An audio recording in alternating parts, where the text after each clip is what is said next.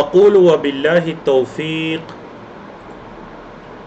अल्हम्दुलिल्लाहि रब्बिल आलमीन वस्सलातु वस्सलामु अलल मबऊस रहमतल लिल आलमीन सय्यिदिना मुहम्मदिन व अला आलिहि व अस्हाबिहि अजमईन अम्मा बाद रब्बि शरह ली सदरी व यस्सिर ली अमरी वहलुल उक़दतम मिन लिसानी यफ़क़हू क़ौली अल्लाह रब्बुल इज़्ज़त की तौफीक से हमारे कोर्स आए, कुरान समझें। शुरू से आखिर तक understand Quran from beginning to end का आज लेवल फाइव का सबक नंबर सात हम पढ़ने जा रहे हैं, जिसमें छब्बीसवें पारे के पेज नंबर ग्यारह से लेकर या पेज नंबर दस से लेकर इंशाल्लाह पेज नंबर पंद्रह तक हम पढ़ेंगे और इसमें हम सूरतुल फतह को मुकम्मल पढ़ेंगे, आयत नंबर एक से लेकर आयत नंबर उनतीस तक। ये सूरत आज हम मुकम्मल करेंगे। तो बहुत ही अहम तरीन सूरत है, जिसका अल्लाह के रसूल सल्लल्लाहु अलैहि वसल्लम की सीरत तय्यबा से भी बड़ा गहरा ताल्लुक है। और इस सूरत का जो नबी करीम सल्लल्लाहु अलैहि वसल्लम मक्का से जुल्म करके आपको, दीगर मुसलमानों को निकाला गया तो अल्लाह के रसूल सल्लल्लाहु अलैहि वसल्लम छः साल मदीना में गुजारने के बाद, जब आप सलाम को अल्लाह की तरफ़ से एक ख्वाब दिखलाया गया तो आप सलाम ने दोबारा मक्का की तरफ़ उम्र की नीयत से जाने का इरादा किया और वहाँ पर नबी करीम सल्लल्लाहु अलैहि वसल्लम को मुशरकिन मक्का की तरफ़ से रोक दिया गया, उम्र नहीं करने दिया गया। अल्लाह के रसूल सल्लल्लाहु अलैहि वसल्लम वहाँ पर हुदैबिया के मुकाम पर सुलह का एक एक मुआहिदा करके एग्रीमेंट करके वापस मदीना की तरफ़ पलटते हैं तो उस जीमन के अंदर अल्लाह रब्बुल इज़्ज़त ने इस खूबसूरत सूरत, सूरतुल फतह को नाजिल किया। तो आइए मैं और आप मिलकर इस खूबसूरत सूरतों, सूरत के ख़जानों तक और नबी करीम सल्लल्लाहु अलैहि वसल्लम की सीरत के मुख्तलिफ़ गोशों तक पहुँचने की कोशिश करते हैं। अल्लाह रब्बुल इज़्ज़त हमें तोफ़ी अता करे। कोर्स के मकासद और कोर्स का तारुफ आपके सामने है। सूरतुल्फ़तः उनतीस आयात पर मुश्तमिल है। मदनी सूरा है, हिजरत के बाद नाजिल हुई। और इस सूरत का नाम इसकी पहली आयत की मुनासबत से रखा गया।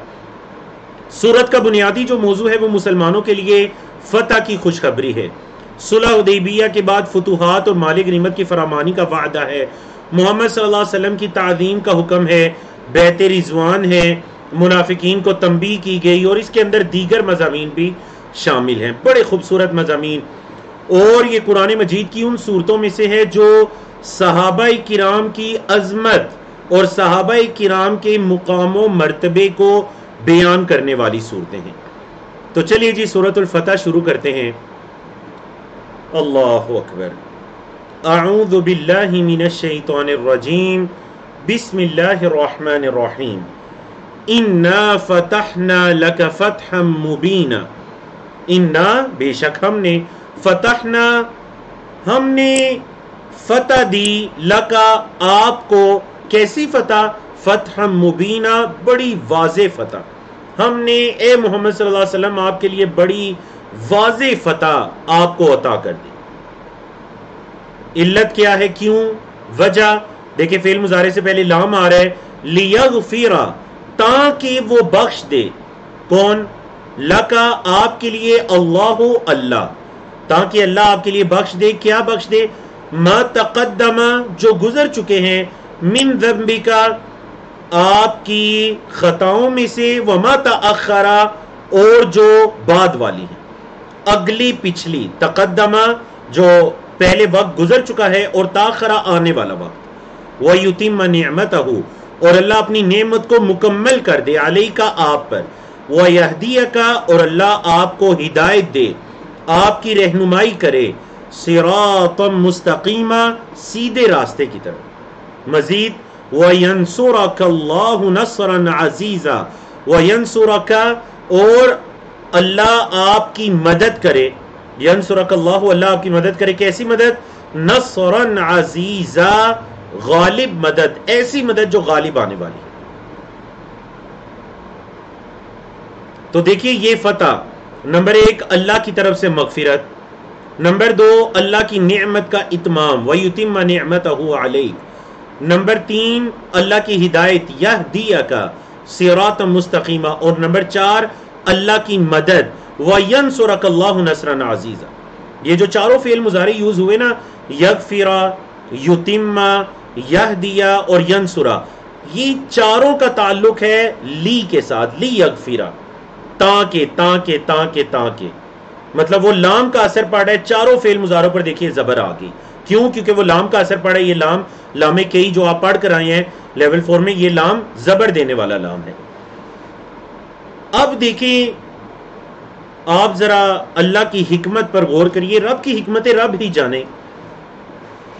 सुलह उदेबिया के मौके पर जब सुलह हो जाती है सुलह की शिकें आप लोगों ने कई मरतबा सुन रखी होंगी कि मुसलमान इस साल वापस चले जाएँगे, अगले साल आएँगे, सात हिजरी में आकर उम्र अदा करेंगे, तलवारें और अपने हथियार साथ नहीं लाएँगे और अगर कोई इस्लाम कबूल करता है तो उसको वापस लौटाया जाएगा कुफार की तरफ़ और अगर कोई मुसलमान मुर्तद होकर कुफार की तरफ़ आता है तो उसको वापस नहीं लौटाए। नबी करीम सल्लल्लाहु अलैहि वसल्लम ने सारी शर्तें मान ली। साहबाई किराम फरमा रहे हैं, अल्लाह के रसूल, अलसना अल हक क्या हम हक पर नहीं है? आप क्यों उनकी इतनी बातें मान रहे हैं? अल्लाह और इस मुआहिदे को, इस एग्रीमेंट को अल्लाह रबुल इज़्ज़त ने फतह मुबीना करार दिया। तो चलिए जरा देखते हैं आप लोगों का सीरत का मुताला। जरा चैट में लिख कर बताइए कि ये कैसी फतह है? मतलब एक मुआदा हो रहा है कि मुसलमान इस साल चले जाएँ, अगले साल आएँगे। तो इसमें फतह वाली कौन सी बात है कि अल्लाह रबुल इज़्ज़त ने उस मुआहदे के बाद खुशखबरी सुना दी कि इन्ना फतह ना लका फतह मुबीना। चैट के अंदर बताइए, मैं कुछ देर बाद आपके जवाब पढ़ता हूँ इंशाला अल्लाह वो जात है जिसने अनजल सकीनता, सुकून को नाजिल किया फ़ी कलूबिलमिना मोमिनों के दिलों में। मोमिनों को करार ही नहीं आ रहा था कि कैसे उम्र किए बगैर वापस चले जाएँ। अल्लाह ने उनके दिलों को पुरसकून कर दिया। अल्लाह अकबर। लियजदादू ताकि वो ज़्यादा हो जाएँ।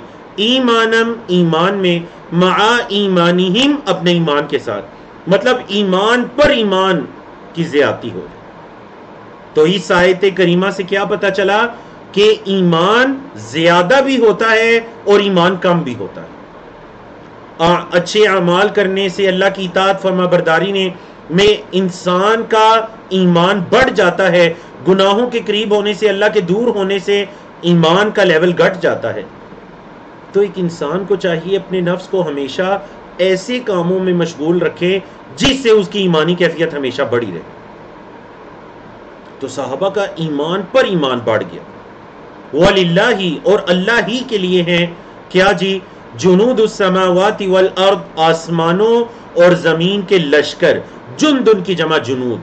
तमाम जमीनों, आसमान के लश्कर अल्लाह ही के लिए हैं। वक़ान अल्लाह अलीमन हकीमा, और वो अल्लाह है इल्म रखने वाला, हिकमत वाला। लियुद वल मुमिनात ताकि वो अल्लाह दाखिल करे, मोमिन मर्दों और मोमिन औरतों को कहाँ दाखिल करे? जन्नातिन। जन्नात में, बागात में अल्लाह वो बागात कैसे हैं? अल्लाह ने बागात की सिफ्त बयान की, तजरी बहती हैं मिन तख्तिहा, उनके नीचे से अल अनहारू नहरें, खालिदीन अफीहा वो उसमें, उन नहरों के अंदर हमेशा हमेशा रहेंगे वह युकफिरान हम और अल्लाह उनसे दूर करे से ये आती हिम उनके गुनाहों अल्लाह उनके गुनाहों को उनसे दूर करे। वह कहना का और ये है आइंद अल्लाह अल्लाह के यहाँ फौजन अजीमा, बहुत बड़ी कामयाबी। और ये अल्लाह के यहाँ बहुत बड़ी कामयाबी है। हाँ जी, आप आज जिसे कहते हैं सक्सेस कामयाबी किस चीज़ का नाम है? सक्सेसफुल कौन होता है? अल्लाह के यहाँ कामयाबी क्या है, देख लीजिए। ये दुनिया की मेरी और आपकी कामयाबियाँ, ये वक्ती कामयाबियाँ हैं। मैं और आप अगर दुनिया में रहते हुए आसमानों की बुलंदी तक भी पहुँच जाए तो मुझे और आपको यकीन होना चाहिए कि ये वक्ती है। ये हकीकी कामयाबी नहीं है।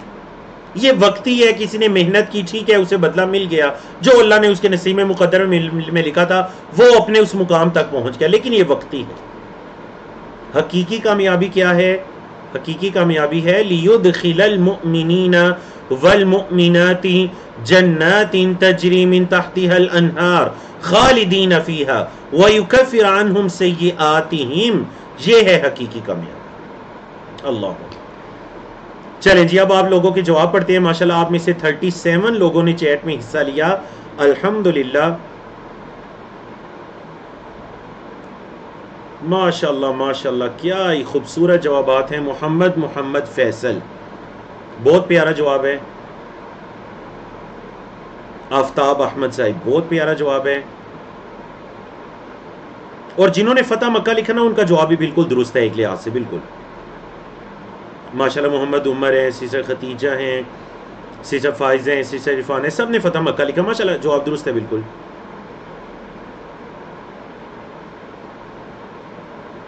इधरी सैयद है, बहुत अच्छा जवाब दिया।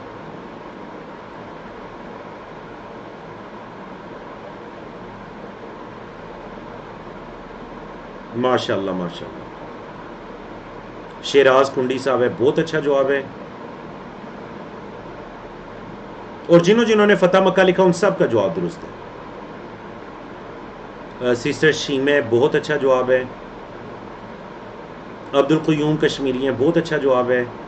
बारक अल्लाह अल्लाफ़िकुम काश वक्त होता, मैं चालीस से ऊपर एक एक जवाब को आपको पढ़ कर भी सुनाता। बारक अल्लाफ़िकुम बहुत अच्छा जवाब है। खुलासा मैं आपके सामने रखता हूँ। इसको फ़तेह मुबीन इसलिए कहा गया, क्योंकि ये सुलह उदैबिया का दिन, वो अजीम दिन था, जिस दिन मुसलमान और कुफार के दरमियान बाकायदा एक एग्रीमेंट हुआ, मुआहिदा तय पाया, और कुफार ने मुसलमानों की पावर को तस्लीम किया। इससे पहले वो क्या करते रहे हैं? इससे पहले कभी वो बदर के मैदान में, कभी ओहद के मैदान में, कभी गजवा खंदक या गजवा हजाब के मौके पर वो अपनी सारी कुत को जमा करके लाते थे मुसलमानों को सफ़ाई हस्ती से मिटाने के लिए, कुचल देने के लिए। ये वो दिन था जिस दिन में उन्होंने मुसलमानों को एक्सेप्ट कर लिया कि हाँ जी, ये भी एक पावर है और एग्रीमेंट हो गया कि दस साल तक जंग बंदी होगी, एक दूसरे पर हमला नहीं करेंगे। अगले साल आकर उम्र करेंगे। और यही वो मुआहिदा था जिसके तोड़ने की वजह से अल्लाह रब्बुल इज़्ज़त ने नबी करीम सल्लल्लाहु अलैहि वसल्लम के लिए फतेह मक्का को आसान कर दिया था। फतेह मक्का को आसान कर दिया था। और देख लीजिए इस मुआहिदे के बाद, यानी ये छह हिजरी में हुआ, सात हिजरी में नबी करीम सल्लल्लाहु अलैहि वसल्लम ने, अब जब ये सुकून हो गया कि मक्का के मुशकिन हमला नहीं करेंगे तो नबी करीम सल्लल्लाहु अलैहि वसल्लम ने सात हिजरी में तमाम बादशाहों को खत लिखे। ईरान के बादशाह को, जो आग के पुजारी थे, जो रूम का बादशाह था, कैसरो किसरा, नजाशी को, मकोकस को, और दीगर जितने कबाइल बड़े सरदार थे, सबको आप सल्लल्लाहु अलैहि वसल्लम ने दीन इस्लाम के कबूल करने के जवाब लिखे। उन, उनको खतूत लिखे कि आप दीन इस्लाम को कबूल कर लीजिए। क्यों? क्योंकि अब आप सल्लल्लाहु अलैहि वसल्लम को यह सुकून हो गया था कि मतलब आप कुफार हमला नहीं करेंगे तो ठीक है, आप दीन की दावत को, दीन इस्लाम की दावत को मजीद फैलाइए, ज़रा मक्का मदीना की हदूद को क्रॉस करके ये रूम और फारिस की हदूद तक पहुँच जाए। अल्लाह अकबर। तो कई एक एतबार से ये फतह मुबीन आती, बड़ी वाज फतह थी। अल्लाह अहले ईमान को जन्नत में दाखिल करे और उसके अपोजिट, ये तो बशारत थी ना कुरान मजीद में मैं आपको बताता हूँ नाइनटी नाइन्टी फाइव परसेंट बशारत के साथ वईद या वईद के साथ बशारत भी है। देखिए, ये बशारत होगी जन्नात। अब आइए वईद। वईद क्या है? वयुअदिबलमुनाफिकीन वलमुनाफिकात। मुनाफिक मर्दों और मुनाफिक औरतों को अजाब दे। वल मुशरकिन वल मुशरिकात और मुशरिक मर्दों और मुशरिक औरतों को अजाब दे। अवानीन बिल्लाह गुमान करने वाले हैं जो अल्लाह के साथ बुरे गुमान। अल्लाह के साथ बदगुमानियाँ करने वाले हैं दाइरतुस्सौ ये जितना बुरा दायरा है, वो उन्हीं पर है। मतलब जिन चीज़ों की वो मुसलमानों पर तमन्ना रखा करते थे कि मुसलमानों को बुराई पहुँचे, ये मुसलमान मिट जाएँ, ये खसारे में रहें, अलहिम दायरतुस्सौ इन मुनाफिकीन और मुशरकिन पर ही बुरा दायरा है। बुरा अजाब इन्हीं की तरफ़ है। वह गादिब अल्लाम और अल्लाह इन पर गुस्से हुआ, गजब हुआ। वह लानहुम और अल्लाह ने इन पर लानत की। व आदा असलम युस्लिम से एक स्पेशल एक चैप्टर है, जिसमें दार रिपीट आ रहा है। वह आदा और उस अल्लाह ने तैयार कर रखा है लहमुन के लिए मतलब मुनाफिकीन और मुशिकीन के लिए तैयार कर रखे क्या? जहन्नमा जहन्नम को। सात मसीरा, बहुत बुरा ठिकाना है। सात मसीरा, बहुत बुरा ठिकाना है ये जहन्नम। तो आपने देखा, जब अल्लाह रब्बुल इज़्ज़त ने जन्नत का ज़िक्र किया तो कितनी खूबसूरत अल्फाज में अल्लाह ने फरमा दिया वकान फ़ौज़न अज़ीमा। और जहाँ जहन्नम का तस्करा फरमाया तो क्या फरमाया? वसाअत मसीरा। नबी करीम सल्लल्लाहु अलैहि वसल्लम की हदीस के मुताबिक, जो जन्नत का तस्करा पढ़कर, तीन मरतबा अल्लाह से जन्नत का सवाल करता है तो जन्नत उसके लिए लिख दी जाती है। जो जहन्नम का तस्करा पढ़कर तीन मरतबा अल्लाह से जहन्नम की पनाह माँगता है, उसके लिए जहन्नम की दूरी लिख दी जाती है। तो अल्लाह रब्बुल इज़्ज़त से सवाल कीजिए कि अल्लाहुम्मा इन्ना नस अलुकल जन्नत अलफिरदौस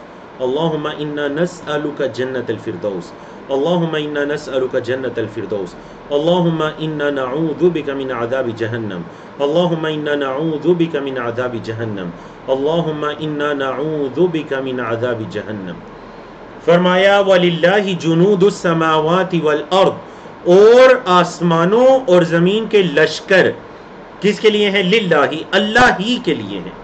वो कैन अल्लाह अजीज़न हकीमा और है अल्लाह गालिब हिकमत वाला। वो अल्लाह गालिब भी है, वो हिकमत वाला भी है। अगर अल्लाह चाहता तो अल्लाह रब्बुल इज़्ज़त सुलह हुदैबिया के मौके पर ही मुसलमानों को फतह अता कर देता। अल्लाह गालिब था इस पर, लेकिन अल्लाह के फैसलों में उसकी हिकमत है, हकीमा, वो हिकमत वाला है। अल्लाह अकबर, कितनी खूबसूरत आयत। ए नबी करीम सल्लल्लाहु अलैहि वसल्लम, नबी करीम सल्लल्लाहु अलैहि वसल्लम को मुखातब करके फरमाया जा रहा है, इन्ना अरसलना का बेशक हमने आपको भेजा है शाहिदन, गवाही देने वाला बनाकर, व मुबशरन और खुशखबरी देने वाला बनाकर, व नज़ीरा और डराने वाला बनाकर। नबी करीम सल्लल्लाहु अलैहि वसल्लम की तीन सिफात। शाहिदन, व मुबशरन, व नज़ीरा, लितुमिनु बिल्लाही। ताकि तुम ईमान लाओ अल्लाह पर, व रसूल ही और अल्लाह के रसूल पर। व तो अज़्ज़रा युअज़्ज़िरू से, व तो और तुम मोहम्मद सल्लल्लाहु की मदद करो। व तो और तुम मोहम्मद वसल्लम की तोकीर, आपका अदब बजा लाओ। व तो सब और तुम उस अल्लाह की तस्वीर करो। मतलब तो अजीरो और तो के बाद जो हु हु दमीर आ रही है उससे मुराद मोहम्मद और तो सब तस्बीह के बाद जो ज़मीर आ रही है, उससे मुराद अल्लाह की ज़ात है, क्योंकि तस्बीह सिर्फ़ अल्लाह की ही की जाएगी। हम सिर्फ़ अल्लाह के बारे में कह सकते हैं सुबहान सुबहान रबी सुबहान अल्लाह सुबहान अल्लाह। और तुम पाकी बयान करो उस अल्लाह की, कब? बुक रहता हूँ असीला सुबह और शाम। बुकरा सुबह व असीला और शाम, सुबह शाम, अल्लाह की पाकी बयान। नबी करीम अलैहि वसल्लम को अल्लाह ने डराने वाला, खुशखबरी देने वाला और गवाह बनाकर भेजा। गवाह का क्या मतलब है जी?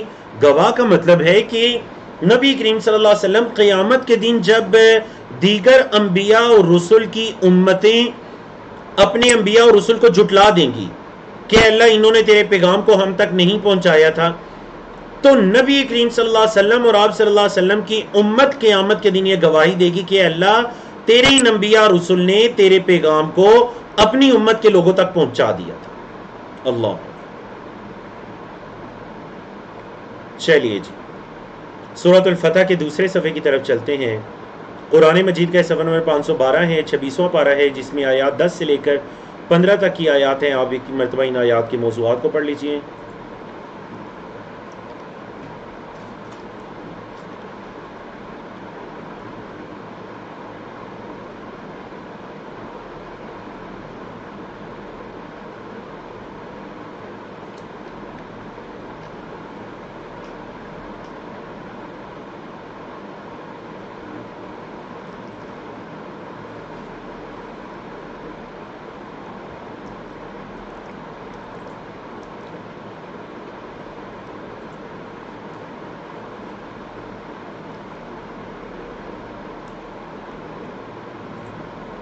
चलिए जी बारक अल्लाह फीकुम।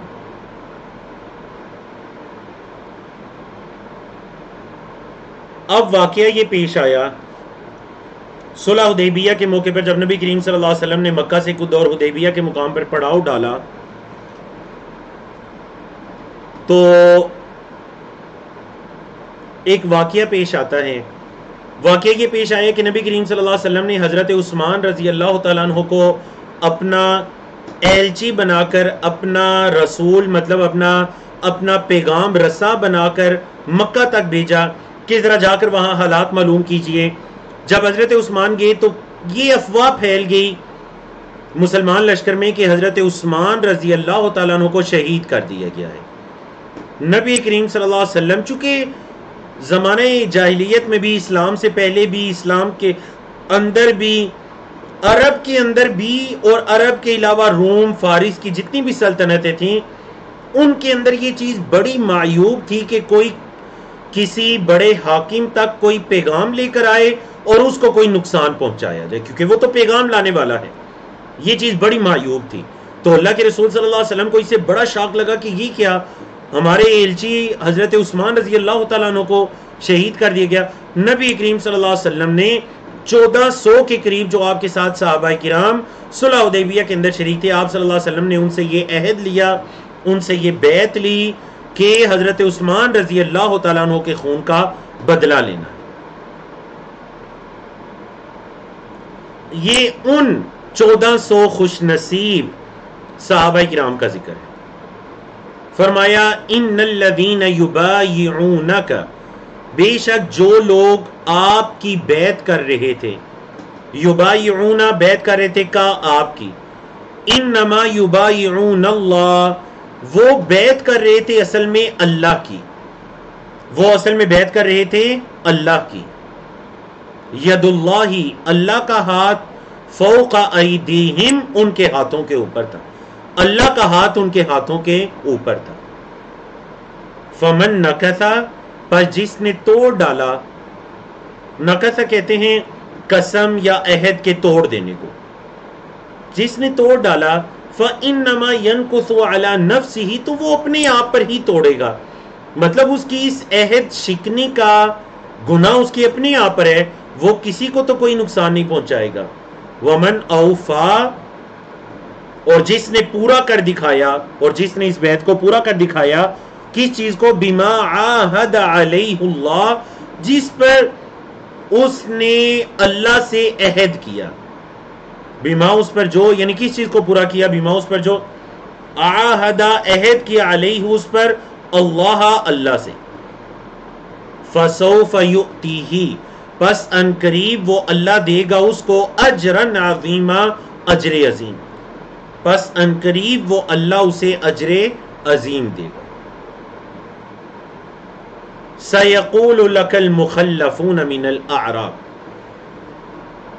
अब इन आयात को समझने के लिए भी वाक्य को समझ लीजिए। हुआ इस तरह कि जब नबी करीम सल्लल्लाहु अलैहि वसल्लम ने ये ऐलान किया कि आप सल्लल्लाहु अलैहि वसल्लम रखते सफ़र बाँध रहे हैं, मक्का मुकरमा की तरफ़ उम्रे की नीयत से तो जो मक्का के अंदर मुनाफिकीन या कुछ देहाती थे इर्द रहने वाले मदीना के अंदर, उनको ये चीज़ बड़ी गरा गुजरी। वो कहने लगे, देखें इस टाइम पर उम्र के लिए जाना, ये बिल्कुल भी मुनासिब नहीं है। क्योंकि अभी तो जो कुफार हैं, मुशरकिन मक्का हैं, वो बड़े गलबे के अंदर है। मुसलमानों को कोई नुकसान भी पहुँचा सकते हैं। तो इस टाइम पर हमें नहीं जाना चाहिए। हालाँकि अल्लाह के रसूल सल्लल्लाहु अलैहि वसल्लम को ख्वाब के अंदर दिखलाया गया। और अम्बिया के ख्वाब अल्लाह की तरफ़ से वही होते हैं, सच होते हैं, हक पर मबनी होते हैं। तो ये उनके बारे में है। सयकुल मुखलफून मुखलफून का मतलब है पीछे छोड़ेगे। जो पीछे रह गए आपके साथ नहीं निकले। सयकुल करीब कहेंगे, लका आपके लिए मुखलफून पीछे छोड़ेंगे। मिनल आराबी देहातियों में से, क्या कहेंगे जी? शगलत ना मशगूल कर दिया हमें अम वालूना हमारे मालों ने, व आहलूना और हमारे घर वालों ने। यानी आकर आपके सामने बहाने बनाएँगे कि असल में हम अपने मालों और अपने घर वालों की वजह से नहीं जा सके। फस तक फिर लाना, आप हमारे लिए अल्लाह से बख्शिश तलब कीजिए, मुआफ़ी मांगिए अल्लाह से। यकूलूना, वो कहेंगे बे अलसिनतहीम अपनी जुबानों से, माँ लेसा, जो नहीं होगा, फ़ी कुलूबिहिम, उनके दिलों में। अपनी जुबानों से वो कहेंगे, जो उनके दिलों में नहीं होगा। कुल कह दीजिए फमई यम लिखो बस कौन मलकियत लगता है? लकुम तुम्हारे लिए मिन अल्लाह अल्लाह से, या अल्लाह के मुकाबले में शई अन कुछ भी। इन औरादा अगर वो अल्लाह चाहे बिकुम तुम्हें दर्रन तकलीफ़ देने का और या वो अल्लाह चाहे बिकुम तुम्हें नफा नफा पहुँचाने का। अगर वो अल्लाह तुम्हें तकलीफ़, या वो अल्लाह तुम्हें नफा देने चाहे तो कौन है जो मलकियत रखता है तुमसे? अल्लाह के मुकाबले में शैयन कुछ भी। क्या कोई तुम्हें अल्लाह से बचा सकता है? मतलब दिलों में वो नबी करीम सल्लल्लाहु अलैहि वसल्लम की मुखालफत छुपाए हुए हैं।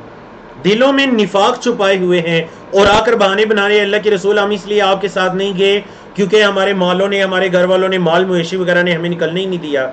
मोहलत ही नहीं दी। हम मसरूफ थे। शागलत नाम वालूना वाहलूना। अल्लाह। तो अल्लाह ने उनका इस पर्दे को फाश कर दिया कि असल में वो बातें कर रहे हैं जो उनके दिलों में नहीं है। दिलों में निफाक है, जुबानों से बहाने गढ़ रहे हैं। तो कह दीजिए, कौन तुम्हें अल्लाह से बचा सकता है? यानी कोई है जो अल्लाह के मुकाबले में तुम्हें कोई मलकियत रखता हो किसी चीज़ की, अगर अल्लाह तुम्हें नुकसान या फ़ायदा देना चाहता हो। बल क्या अल्लाह बीमा तमलून खबीरा, बल्कि जो तुम अमल करते हो, अल्लाह उसकी खबर रखता है। बल, बल्कि जनन तुम तुमने गुमान कर लिया। बल्कि तुमने गुमान कर लिया क्या? अल कालिबर रसूल। ये कि रसूल वापिस ही नहीं पलटेंगे। वल मोमिन और मोमिन। इलाह लीहिम अपने घर वालों की तरफ़ अबदन कभी भी। बल्कि असल में तो उन्होंने ये गुमान कर लिया था कि अब अल्लाह के रसूल सल्लल्लाहु अलैहि वसल्लम गे उम्र करने के लिए तो आप वापसी, शापसी कोई नहीं होगी। बस वहाँ जाएँगे, मुशरकिन मक्का पता नहीं वापिस आने देंगे या नहीं देंगे, शायद उधर कोई जंग वगैरह हो जाए, सब उधर ही शहीद हो जाए। बल्कि तुमने ये गुमान किया था लई अन कालिबा। देखे, लन किस लिए आता है? फेल मुजारे पर आता है नफी ताकीद मुस्तकबल और फेल मुजारे पर जबर। लई अन कालिबा हरगिज नहीं लौटेंगे, रसूल और अहले ईमान, सल्लल्लाहु अलैहि वसल्लम। वजुयना और मुजयन किया गया, खूबसूरत कर दिया गया जाली का ये फ़ी कुलूबिकुम तुम्हारे दिलों में। ये तुम्हारे दिलों में मुजयन कर दिया गया वह धनन और तुम गुमान करने लगे। जन्न सऊ बुरे, तुम बुरे गुमान करने लगे। वकुन तुम कौम बुरा, और तुम बड़े नुकसान उठाने वाली कौम थी। असल में तुम ये समझने लगे कि पीछे रहकर हम कोई फ़ायदे में हो जाएँगे। नहीं नहीं नहीं। कौन तुम कौम बुरा तुम असल में हलाकत वाली कौम हो जो इंतहाई खसारे में रहने वाले ऐसा नुकसान, ऐसा खसारा जो उन्हें हलाकत तक ले जाए।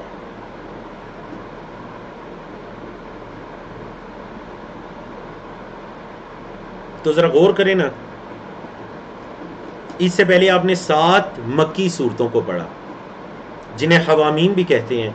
अब आप माशाल्लाह सूरत मोहम्मद आपने मदनी पढ़ी, सूरत फतेह, मदनी सूरत पढ़ रहे हैं। तो आपने देखा कि किस तरह से मक्की मदनी सूरतों के मौजूद के अंदर फ़र्क आता है। जो आपकी ये सूरतें हैं, मक्की सूरतें, उनके अंदर अकायद, ईमानियात, ये चीज़ तफसील से डिस्कस होती है। और मदनी सूरतों के अंदर अकाम मसाइल हैं। मुनाफिकीन का तस्करा है। और जिहाद और इन तमाम चीज़ों के अकाम मसाइल हैं। फरमाया वमल्लम बिल्ला और जो अल्लाह पर ईमान ना लाए, व रसूली है और उसके रसूल पर, फ इन्ना तो बेशक हमने आतदना तैयार कर रखा है। लिल काफिरीना, काफिरों के लिए सईरा बड़कती हुई आग। बेशक हमने काफिरों के लिए बड़कती हुई आग तैयार कर रखी है। वो अल्लाह और अल्लाह ही के लिए हैं। मुल्क समावाती वल अर्द, आसमानों और ज़मीन की बादशाहत। यक फिर यशा।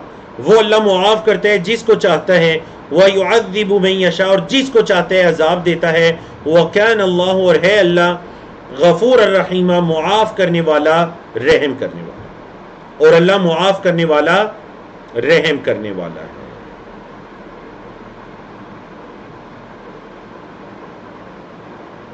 अब,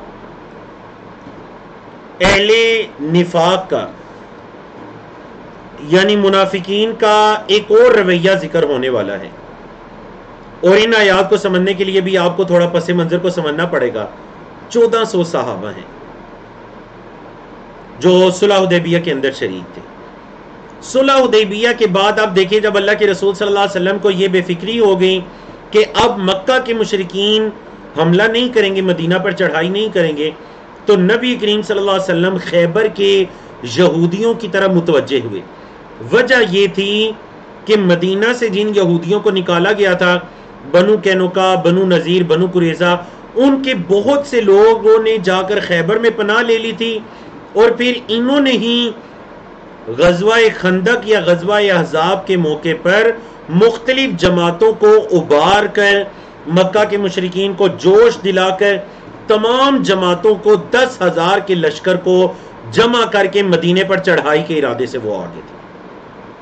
तो अब आप सल्लल्लाहु अलैहि वसल्लम ने कहा कि अब वो वक्त आ चुका है कि अब हम सुलह उदेबिया के बाद खैबर की तरफ़ मुतवजे हैं। खैबर में यहूद की तादाद कम थी, लेकिन वो तमाम के तमाम जंगजू थे। और खैबर का इलाका उस दौर में भी और आज के दौर में भी बड़ा जरखेज इलाका था। बड़ा जरखेज इलाका। तो नबी करीम सल्लल्लाहु अलैहि वसल्लम ने क्या किया जी? आप सल्लल्लाहु अलैहि वसल्लम ने खैबर का जब इरादा किया तो मुनाफिकीन के दिल में यह आया कि अल्लाह के रसूल सल्लल्लाहु अलैहि वसल्लम खैबर को बासानी फतह कर लेंगे और वहाँ पर तो खैबर के यहूदी बड़े मालदार हैं ठीक ठाक मालिक गनीमत हाथ आएगा।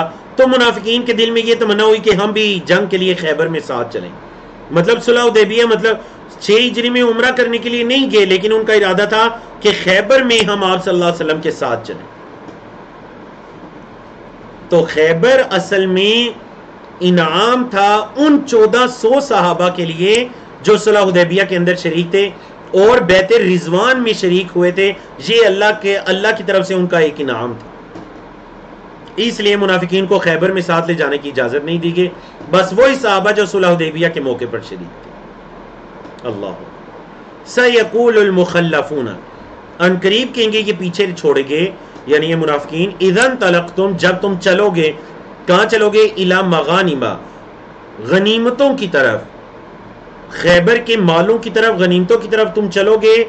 लिता खुदूहा ताकि तुम उन्हें ले लो। क्या कहेंगे जी? सयकूल, कहेंगे क्या? उनकी बात है जरू ना जरा हमें छोड़ो, ज़रूर छोड़ो ना हमें। न तबे हम भी तुम्हारे पीछे आते हैं। हमें इजाज़त दो जी, हम भी चलते हैं तुम्हारे पीछे खैबर के खैबर के गजबे को लड़ने के लिए, जिहाद करने के लिए। युरीद होना वो चाहते हैं दिलो ये कि वो बदल डालें कलाम अल्लाह अल्लाह के कलाम को। कुल कह दीजिए, लन तत्तबीऊना, तुम हरगिज हमारे पीछे नहीं आ सकते। कदालिकुम इसी तरह। काल अल्लाह कबलो, अल्लाह ने इससे पहले भी कहा था, इससे पहले तो तुम नहीं निकले। फस यकूलूना बस अनकरीब वो कहेंगे। मतलब मुनाफिकीन कहेंगे क्या बल, बल्कि तहसुदूनना, बल्कि तुम हमसे हसद करते हो। मतलब जब उन्हें साथ चलने की इजाज़त नहीं दी गई तो खुले आम मुना, जो ये मुनाफिक थे, मुसलमानों को कहना शुरू हो गई कि असल में तुम हमें साथ इसलिए नहीं लेकर जा रहे कि तुम हमसे हसद करते हो कि कहीं हमें मालो दौलत ना मिल जाए। तो इस हसद की वजह से तुम हमें साथ नहीं लेकर जा रहे। नाउज बल बल्कि थे वो ला यफ़ाहूना समझ नहीं रखते थे, इल्ला कलीला मगर थोड़े। मामला फहम लोग नहीं थे, थोड़ी बहुत समझ रखते थे। ज़्यादा समझ नहीं रखते थे, यानी उन्हें इस चीज़ का भी ये नहीं है कि हमारी ऐसी बातें करने से हमारा निफाक खुलकर सामने आ रहा है, लेकिन इसके बावजूद वो ऐसी बातें करी जा रहे हैं। चलिए जी सूरत फतह के तीसरे पेज की तरफ़ चलते हैं। कुल कह दीजिए लिलमुखलफीना पीछे इन छोड़े गए मिनल आराबी देहातियों में से सतुदआउना अन करीब तुम्हें बुलाया जाएगा इलाकौमिन एक कौम की तरफ़, उली बसिंग जो बड़ी जंग वाली होगी। उली का मतलब होता है ना वाली। बसिन जंग। शदीदिन, शदीद। अन करीब तुम्हें एक ऐसी जंगजू कौम की तरफ़ बुलाया जाएगा जो बड़ी शदीद जंगजू लड़ने वाली होगी। अब बाद ने इससे मुराद गजवा हुनैन लिया, जो ताइफ के कुछ कबाइल, हवाजन तकीफ वगैरह के कबाइल के साथ एक गजवा हुआ था। बाज के दीगर कुछ अकबाल भी बाद नहीं से मुराद तबूक भी लिया है। तो अनकरीब तुम्हें बुलाया जाएगा, ऐसी कौम से लड़ाई की तरफ़ जो बड़ी शदीद जंग करने वाली होगी तो कातिलून तुम उनसे जंग करोगे ओ युसलिमून, या वो मुसलमान हो जाएँगे। या तुम उनसे जंग करोगे, या वो फर्माबरदार हो जाएँगे, मुसलमान हो जाएँगे। फ इन तो बस अगर तुम इतात करो युतिकुमुल्लाह अल्लाह देगा तुम्हें अजरन हसना अच्छा बदला। यानी मुनाफिकीन को यहाँ भी वापस पलटने की तरफ़ इशारा है कि अगर तुम अभी भी बात मान जाओ, ऐसी बातें ना करो, निफाक का इजाना तो अल्लाह तुम्हें अच्छा बदला देगा इसका। और साथ ही बता दिया गया वार्निंग, वह इन तवल्लो और अगर तुम फिर गए, कमा तवल्लई तुम इन कबलो, जैसे तुम इससे पहले फिर गए थे युअज़िबकुम अज़ाबन अलीमा तो वो अल्लाह तुम्हें दर्दनाक अजाब देगा। अगर तुम फिर गए, जैसे तुम पहले फिरे थे तो फिर वो अल्लाह तुम्हें दर्दनाक अजाब भी देगा, अजाबन अलीमा। कुछ लोगों को इस्तिसना है। कुछ लोग जो नहीं निकल सके थे और वाकयतन वो असहाबुल आजार थे, उनके पास उजर थे। फरमाया हरजुन, नाबीना पर कोई हरज नहीं है। वला अलजी हरजुन, और जो माजूर है, पाँव या टांग वगैरह से माजूर है, उस पर भी कोई हरज नहीं है। वला अल मरीद हरजुन मरीज़ पर भी कोई हरज नहीं है। वमयुत अल्लाह व रसूल हो और जो अल्लाह और उसके रसूल की इतात करेगा युदखिल हो वो अल्लाह उसको दाखिल करेगा जन्नात इन बागात में। तजरीम इन तख्ती अलनहार उनके नीचे से नहरें बहती हैं। वमई तवल्ला और जो फिर गया युअज़िब हो वो अल्लाह अजाब देगा उसे, अजाबन अलीमा, दर्दनाक अजाब। तो मोहतरम सामीन सामियात, अल्लाह और उसके रसूल की इतात का ये फ़ायदा है। अल्लाह और उसके रसूल के बताए हुए तरीके पर चलने का, उनको फॉलो करने का ये फ़ायदा है कि जो अल्लाह और उसके रसूल की इतात करेगा, अल्लाह उसे अपनी बागात में, अपने जन्नात में दाखिल करेगा, जिनके नीचे से नहरें बह रही हैं। और अल्लाह और उसके रसूल के अपोजिट अगेंस्ट जाने का नुकसान क्या है? वो मैं तवल्ला और जो फिर गया यू अजिब हो अजाबन अलीमा तो वो अल्लाह उसे दर्दनाक अजाब देगा। फरमाया, लक़द रदी अल्लाह अल्लाह मोमिनों से राज़ी हो गया। कब? ईद युबायूना का जब वो आपकी बैत कर रहे थे तहत शजरा दरख्त के नीचे। ये जो 1400 साहबा जो सुलह देविया में शरीक थे, जब ये दरख्त के नीचे आपकी बैत कर रहे थे, अल्लाह उनसे राज़ी हो गया। और इसी आयत की मुनासबत से इस बैत का क्या नाम रखा गया? जरा चैट में बताइए। सबसे पहले तीन लोगों का नाम लिया जाएगा। अल्लाह राज़ी हो गया अहले ईमान से। ईद युबायूना का, जब वो आपकी बैत कर रहे थे, तख्त शजरा दरख्त के नीचे। फ़ाली मा तो उस अल्लाह ने जान लिया। माफ़ी कलूबहिम, जो उनके दिलों में है। फ़न जलत सकीनता तो उस अल्लाह ने सकूनत को नाजिल कर दिया आलिम उन पर। वह असाबहम, और अल्लाह ने उनको अजर दिया फतहन करीबा, एक करीबी फतह का। कि अन करीब तुम्हें एक करीबी फतह से अल्लाह किनार करेगा इससे मुराद खैबर की फतह। व मगानिम कसीरतन, और बहुत सारी गनीमतें या खुदूनहा जिसे वो लेंगे। वह कैन अल्लाह अजीज़न हकीमा, और अल्लाह गालिब हमत वाला। है अल्लाह गालिब हमत वाला।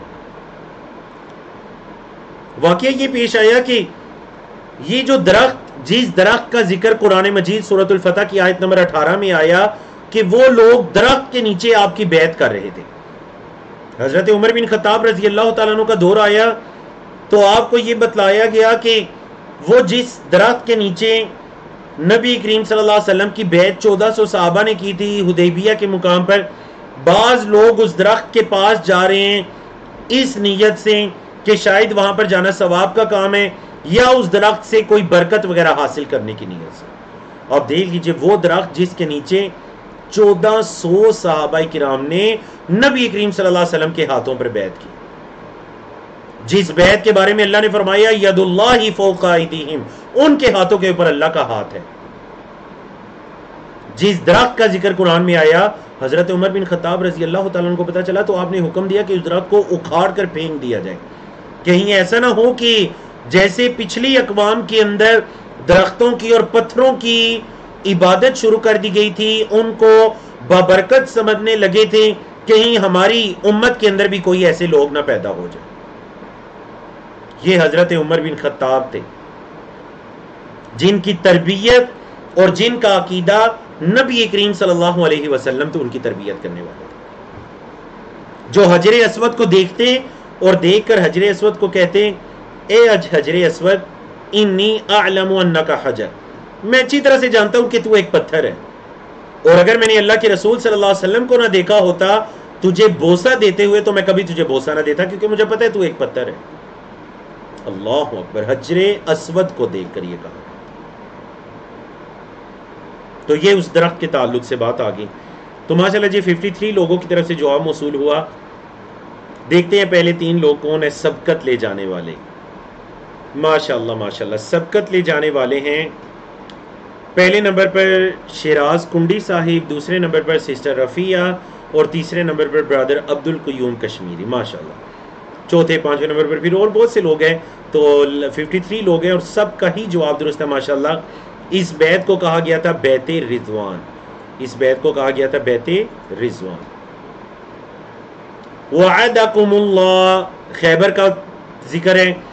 अल्लाह ने तुमसे वादा किया, मगानिमा कसीरतन, बहुत सारी गनीमतों का, तखुदूनहा, जिन्हें तुम लोगे फ़ाज जलकुम हादिही तो अल्लाह ने वो तुम्हें जल्दी अता कर दी। अल्लाह ने वो तुम्हें जल्दी अता कर दी। वकफ आईदियनकुम और लोगों के हाथों को तुमसे रोक लिया। क्या मतलब जी लोगों के हाथों को तुमसे रोक लिया? मतलब उस मुआहिदे की वजह से अब मुशरकिन मक्का वगैरह भी तुम पर हमला नहीं कर सकते और खैबर के यहूदियों के हौसले भी पस्त हो गए और वहाँ से निकल गए। तो उनके हाथों को भी अल्लाह ने तुमसे रोक लिया और तुम्हें मालो दौलत भी अता कर दिया। मगानी मकसीरा बहुत सी गनीमतें भी अता कर दी। वली तकून आयतमिन और ताकि ये हो जाए मोमिनों के लिए एक निशानी। वह यहदी अकुम और वो अल्लाह तुम्हारी रहनुमाई करे, तुम्हें हिदायत दे। कैसी हिदायत? सिरात मुस्तकीम सीधे रास्ते की हिदायत अता कर वह उखरा और एक दूसरी चीज़, वो दूसरी चीज़ क्या है जी? लम तक दिरो जिस पर अभी तक तुमने कुदरत नहीं पाई। मतलब बहुत से ऐसे इलाके हैं जिन, जिन्हें अभी तक तुमने फतेह नहीं किया, मक्का को तुमने फतह नहीं किया, बहुत उखरा दूसरी। लम तकदीर आलिहा जिन पर तुमने कुदरत हासिल नहीं की। कद अहात बिहा, अल्लाह ने उसको भी घेर रखा है, उसका भी हाथा कर रखा है। वह कैन अल्लाह शेन कदीरा, और अल्लाह हर चीज़ पर कादिर है। अल्लाह हर चीज़ पर कादिर है।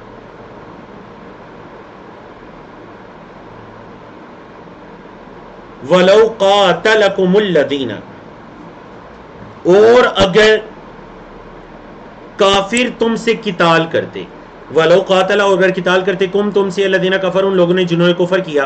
काफिर अगर तुमसे लड़ पड़ते मतलब सुलह उदेबिया के मौके पर, सुलह उदेबिया की उन शिकों पर दस्तखत ना किए जाते, एग्रीमेंट ना होता, जंग हो जाती, अगर ये काफिर तुमसे लड़ भी पड़ते, लव, लवल अदबारा तो पीठों के बल फिर जाते।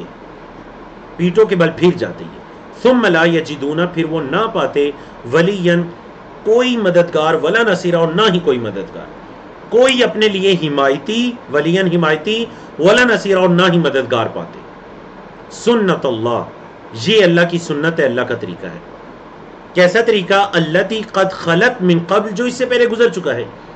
ये अल्लाह की सुन्नत, अल्लाह का तरीका है, जो इससे पहली उम्मतों में भी गुजर चुका है कि कुफर इस्लाम के सामने, हिदायत के सामने ज़्यादा देर टिक नहीं सकता। वलन तजीदा, और आप हरगिज नहीं पाएँगे। लिसुन्नत अल्लाह की सुन्नत के लिए तब्दीला कोई तब्दीली आप अल्लाह की सुन्नत में हरगिज कोई तब्दीली नहीं पाएँगे। चलिए जी सूरत फतह के चौथे पेज की तरफ़ जाते हैं। फरमाया, वहु अल्लदी कफ़ा अल्लाह वो ज़ात है जिसने कफ़ा रोके रखा। कफ़ा या कुफ़ का मतलब होता है रोकना। अल्लाह वो जाते जिसने रोका आई दिया हम उनके हाथों को अन कुम तुमसे, व आई दिया कुम और तुम्हारे हाथों को अन हम उनसे। तुम्हें उनसे रोके रखा और उन्हें तुमसे रोके रखा। भी बतनी मक्का था मक्का की उस वादी में। मक्का यानी वो जहाँ पर नबी करीम सल्लल्लाहु अलैहि वसल्लम और सहाबा किराम ने पड़ाव किया था। उस जगह पर अल्लाह ने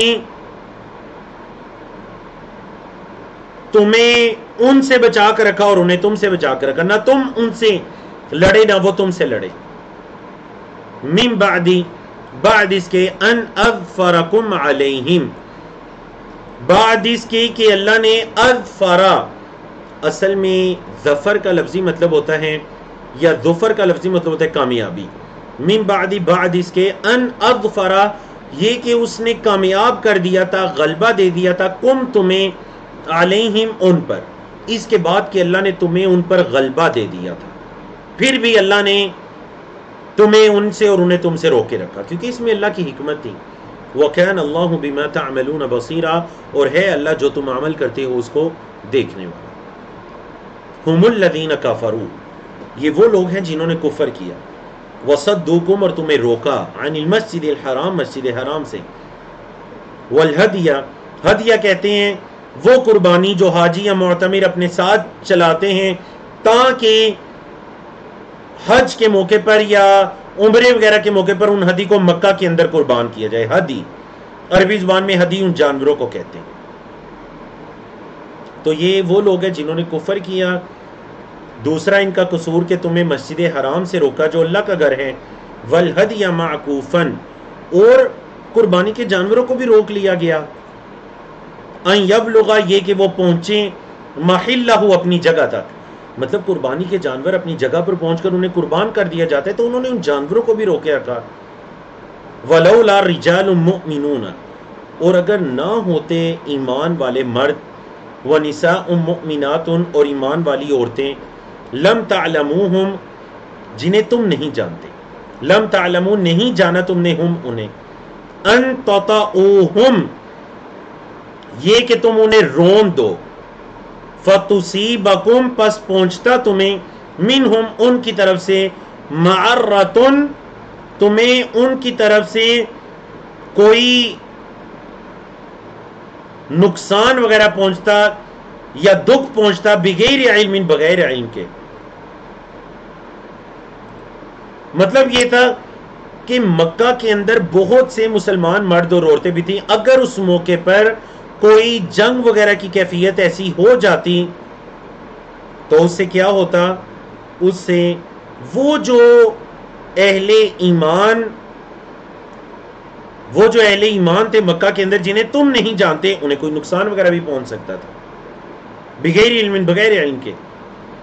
लियुद खील्लाह फ़ी रहमत ही ताकि अल्लाह दाखिल करे अपनी रहमत में, मैं यशाऊ जिसको चाहे। लो तजयलू और अगर वो अलग अलग होते, अगर वो अलग अलग होते, अहले ईमान अलग होते, अहले कुफर अलग होते लदीन कफर तो हम काफिरों को अजाब देते मिन हम उनमें से आदाब नलीमा दर्दनाक अगर ये अहले ईमान और अहले कुफर अलग अलग होते ना तो हम काफिरों को दर्दनाक अजाब देते। इज़ जाल अल्लादीन कफरू, जब बना दिया उसने काफरों के फ़ी कलूबहिम, उनके दिलों में अलहमीत हमीयत को, गैरत को, कैसी गैरत? हमीयत जाहिलिया जाहिलियत की गैरत को। जाहिलियत को, गैरत को जब अल्लाह ने दिलों में बना दिया। या जब काफिरों ने बना दिया अपने दिलों में गैरत, वो जो जाहिलियत की गैरत होती है, उसको अपने दिलों के अंदर लेकर आ गए मतलब काफिर लोग इस चीज़ पर मरने के लिए, लड़ने के लिए तैयार हो गए वो जो जाहिलियत की, अरब के अंदर एक गैरत और हमीयत पाई जाती थी कि बाज़ अवत कभी घुड़सवारी वगैरह पर अगर जंग वगैरह हो जाती तो कई कई साल वो गैरत और हमीयत के अंदर एक दूसरे कबीलों से बदला चलता रहता। तो क्या हुआ? फ़ानजर अला रसूली अल्लाह ने अपने रसूल पर अपनी सकीनत को नाजिल किया। वह अलमिन और अहल ईमान पर। वह अलजमहम और अल्लाह ने उनको लाजिम कर दिया कलीमत तकवा तकवा की बात। अल्लाह ने उनको तकवा की बात लाजिम कर दी। मतलब उन्होंने तकवा को लाजिम पकड़ लिया। बोले जी, उन्होंने तकवा को लाजिम पकड़ लिया। फरमाया, वकान अहक बिहा। और वो इस कलमे को, तकवा की बात को लाजिम पकड़ने का ज़्यादा हक तो वही रखते थे। यानी मुसलमान ही हक रखते थे कि वो तकवा की बात को लाजिम पकड़े। वह अहलहा, और वही तो इसके अहल थे असल में। वह कैन अल्लाह बिकुल्लिशन अलीमा, और अल्लाह है हर चीज़ का इल्म रखने वाला, वो अल्लाह हर चीज़ को जानने वाला है। फरमाया, लक़द सदक अल्लाह रसूल बिलहक.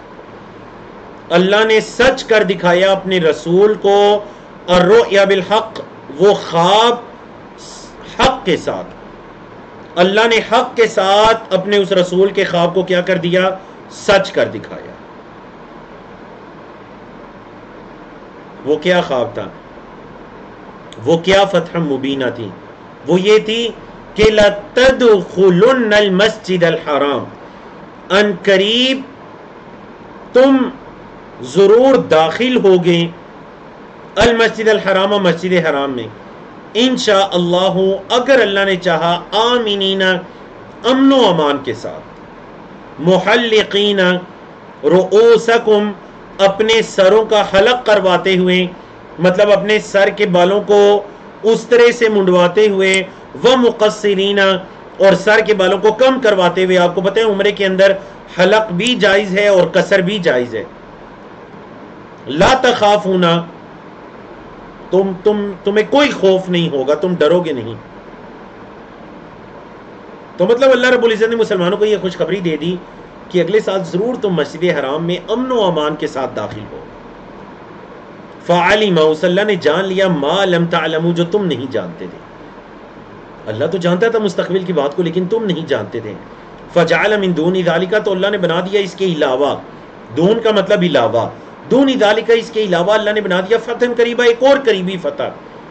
मतलब फ़तह मक्का से पहले या उस उम्र से पहले अल्लाह ने तुम्हारे लिए एक और करीबी फ़तह फ़तह हैबर को भी रख दिया। अल्लाह ये सारी नेमतें, खुशखबरियाँ, फतूहत हुवल्लदी अरसल रसूलहू। अल्लाह वो ज़ात है जिसने अपने रसूल को भेजा बिल हुदा, हिदायत के साथ व दीन हक़ी और दीन हक़ के साथ। क्यों भेजा? अल्लाह ने अपने रसूल को और दीन हक़ को। लियुजहिरा हो ताकि वो अल्लाह गालिब कर दे उसे। आलत दीन कुल्ली तमाम अदियान पर, ताकि अल्लाह अपने रसूल को और दीन इस्लाम को तमाम अदियान पर गालिब कर दे। व कफ़ा बिल्ला शहीदा, और अल्लाह गवाह काफ़ी है। व कफ़ा बिल्ला और अल्लाह काफ़ी है, शहीदा गवाह। तो ये बड़ी खूबसूरत आयत हैं।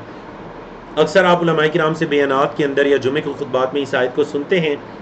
तो अहले ईमान को इस चीज़ का यकीन रखना चाहिए कि इस आयत की रोशनी में क़यामत से पहले एक दिन आएगा कि इस तमाम रुए ज़मीन पर दीन इस्लाम ही गालिब दीन हो।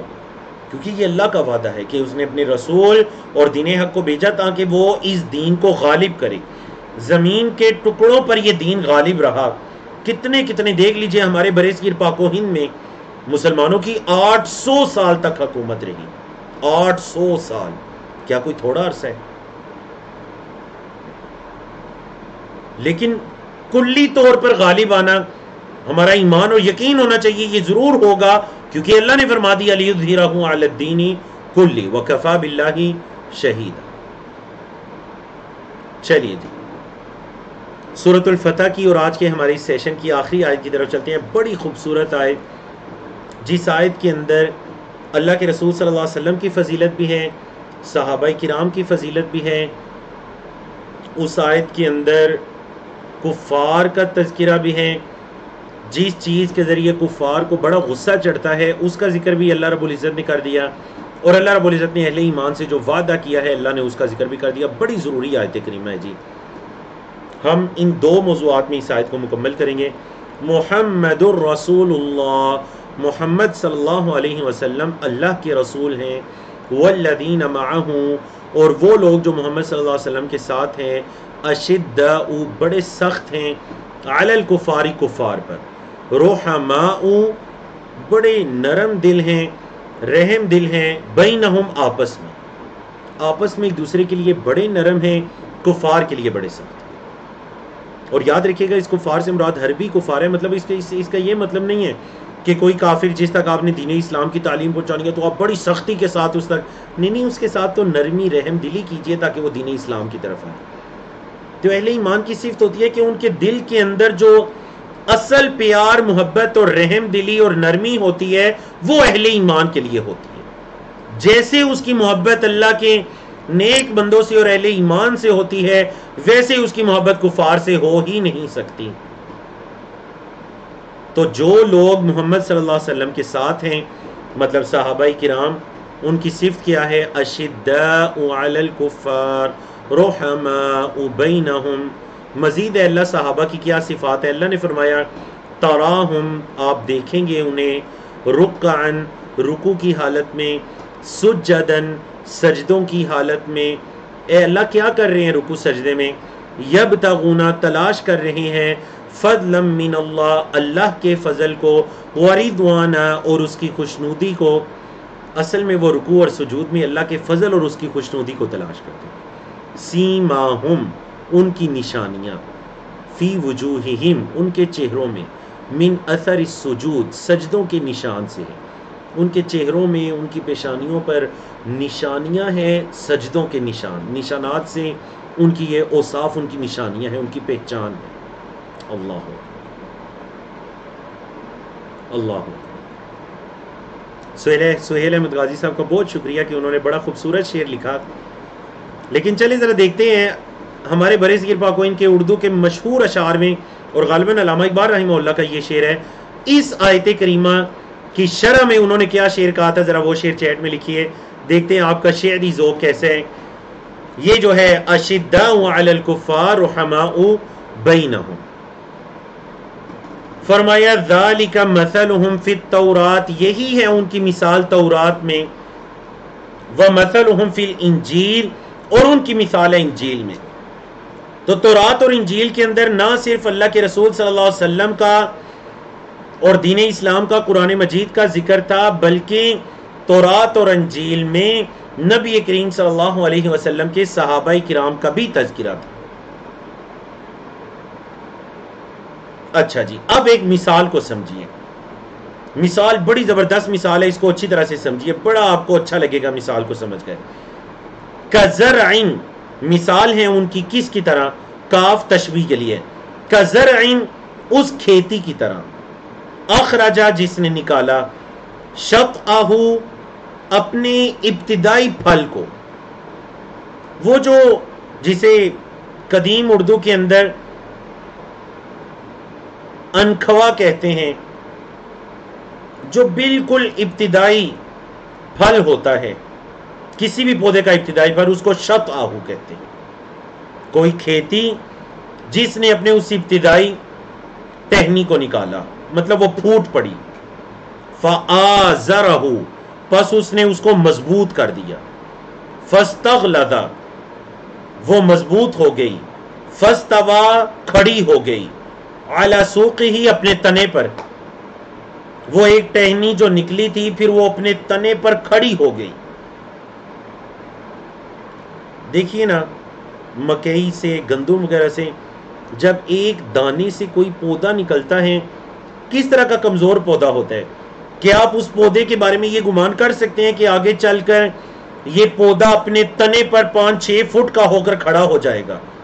या फिर वो कई बीसियों फुट ऊँचा दरख्त बन जाएगा? वो अपने तने पर खड़ा हो गया, फस्तवा अला सूक ही योजिबुर्रा अच्छा लगने लगा जुर्रा किसानों को। किसानों को अच्छा लगने लगा। मतलब किसान जब अपनी उस खेती की तरफ़ देखते हैं, अल्लाह अकबर तो उनकी खुशी की कोई इंतहा नहीं रहती।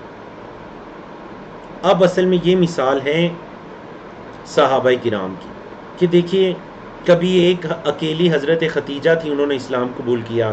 कभी अकेले हज़रत बकर सिद्दीक थे, कभी हज़रत बिलाल थे, कभी हज़रत अली थे रज़ी अल्लाह तजमाई मक, मदीना, मक्का के अंदर कभी खब्बाब बिन नर थे, कभी हज़रत बिलाल हबशी थे, कभी जैद बिन अरकम थे। एक एक एक एक एक एक करके काफ़िला बनता गया। हती कि वो एक तना आवर दरख्त की सूरत इख्तियार कर गया। किसान को वो बड़ा अच्छा लगने लगा। ये मिसाल है अहले ईमान की, कि ये उठे और चंद ही सालों में ये एक तना आवर दरख्त बन गया। अब जब ये दरख्त बने तो कुफार क्या खुश हुए? नहीं। ली अगीद अभी मुल्कुफ़ार ताकि वो अल्लाह गुस्सा दिलाए इनके ज़रिए कुफार को। मतलब जब वो कुफार इन मुसलमानों को देखें, इनकी फतूहत को देखें फ़तह खैबर को देखें सुलहदेबिया को देखें गजवा अजाम ग्रोहों के पलटने को देखें तो ये मुसल, ये जो कुफार है ना देख कर अंदर ही अंदर जलते रहें, कुड़ते रहें। इस तनावर दरख्त को देखकर साहबाई किराम को मुसलमानों को देखकर बाज़ मुफसरीन ने इससे बड़ा खूबसूरत नुकता अखज़ किया। उन्होंने कहा यह आयत करीमा बतलाती है कि जिसके दिल के अंदर सहाबा किराम के बारे में नफ़रत, हसद, बुग्ज या किसी किस्म का नेगेटिव जज्बा है, वो शख्स अहले इस्लाम में से नहीं हो सकता। क्योंकि अल्लाह रब्बुल इज़्ज़त ने कुफार की ये निशानी बताई है कि वो साहबा किराम पर गुस्सा रखते हैं। लियगीद अभी मुल्कुफ़ार अहले ईमान के सीने अल्लाह के रसूल सल्लल्लाहु अलैहि वसल्लम के तरबियत याफ्ता सहाबा के बारे में पाक साफ़ होते हैं। क्यों? क्योंकि उनकी तरबियत फरमाने वाली बड़ी अजीम शान हस्ती थी, नबी करीम सल्लल्लाहु अलैहि वसल्लम। वाद आमनु, अल्लाह ने वादा किया, अहले ईमान से वामिलसालियात और जिन लोगों ने नेक अमाल किए, जो ईमान लाए और उन्होंने नेक अमाल किए, अल्लाह ने उनसे वादा किया है मिन हम उनमें से, क्या वादा किया है? जी, मगफिरतन, मगफिरत का, व अजरन अजीमा, और अजर अजीम का अल्लाह ने उनसे वादा किया बारक फ़ीकुम तो अल्हम्दुलिल्लाह बिनमत ही ततीमसालहत अल्लाह रबुल्ज़त की तोफ़ी से हमने सूरतफ़तः को, और आज के सेशन को मुकम्मल किया। तो आप में से तेरह लोगों की तरफ़ से चैट में जवाब मसूल हुआ। तो चलें जवाब देखते हैं जी किन का जवाब सबसे पहले और दुरुस्त है और मुकम्मल शेर लिखा है। आ, सब ज़ाहिर बात है मैंने जिनका नाम भी लिया था सुहेल अहमद गाजी साहब सबसे पहले उन्होंने लिखा।